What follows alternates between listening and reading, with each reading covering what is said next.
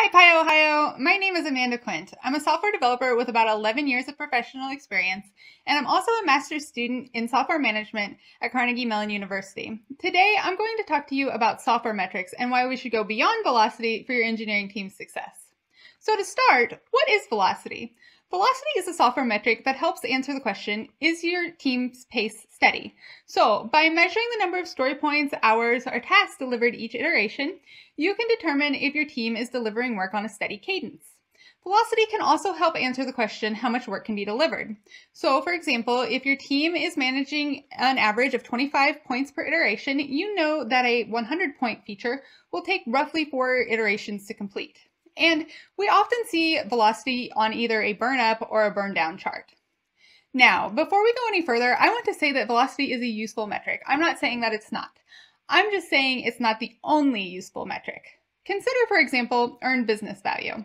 So take the scenario where your team has a high steady velocity, but your stakeholders really aren't seeing the value. It, with earned business value, you work with your stakeholder and choose an overall number of points, and then you assign the points to the smallest work item. So in this example, we took a thousand total points and we assigned them out to these features. Um, as you can see, feature A, we assigned the points to the smallest item, um, tasks 1A-1 through 3, and on feature C, the smallest item was only story C. Now, this helps you determine your priority. Here, we see that feature A actually has more value than feature B, or C, but then C comes in second. And since we worked with our stakeholder to determine this, we also have um, an easy way to get feedback and we can course correct as needed. Now, you can also use this number in a burn up or burn down chart, much like you would with velocity. Another useful metric is lead time. So take the scenario where the team has a high steady velocity, but your users say that their items are never getting delivered. Now, this could be because your um, team is working on uh, technical debt or items that have been backlogged for a while, but um, lead time is a useful metric to measure how long it takes an item to get from beginning to end. And keep in mind that backlog items can really drive up your lead time. So another useful metric is cycle time, which is the time an item spends with your team out of the overall lead time. In this example, um, this would be after it leaves the engineering backlog and on from there. So um, here's an example of 10 stories and their lead time in days. So we took two numbers here. We took the average time, which was 20 days, or four weeks, and we also took the standard deviation, which was four and a half days, and we're going to call that a week. So we know that it takes this team roughly three to five weeks to complete a story from beginning to end. Um, and we can also use these numbers to identify outliers that you might want to examine. For example, here, story five only took 10 days. So we could either see what went right there um, to get it done so quickly, or, you know, maybe it was just a really easy story. Another useful metric is cumulative flow.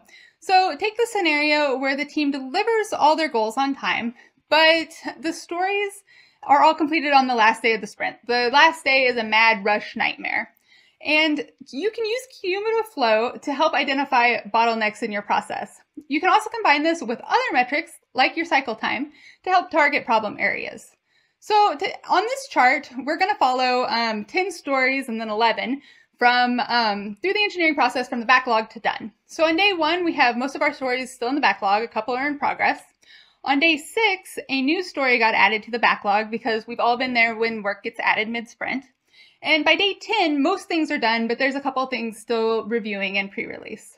Now, we can take this chart and build this graph. And this shows us how work is distributed. So for example, on day six, there is work in all five stages, but the bulk of it is in progress. And this helps us identify bottlenecks. So both reviewing and pre-release are pretty narrow with a wider queue growing behind them. So those could be possible bottlenecks where you want to um, uh, put some more resources there. And this is also helping you determine your cycle time contributors. So the width of the bands can tell you how long items are spending in certain um, states where cycle time grows. Now, three things to remember about software metrics. Your team stability matters. If your team is experiencing changes, whether that's changes in um, team members or projects or tool sets, your metrics will become temporarily unreliable. And you need to choose the right metrics. Um, a team that's working on feature enhancements and a team that's working on defects are going to care about different metrics. And there's no one right answer. You know, there's no perfect set of metrics, and data can be interpreted differently. Choose the metrics um, that work for your team and don't rely too much on any one metric. So, I'd like to thank the PyOhio organizers and thank you for watching. If you want to learn more about software metrics, here are a couple useful books. And if you want to reach out to me, here's my contact information. Thank you.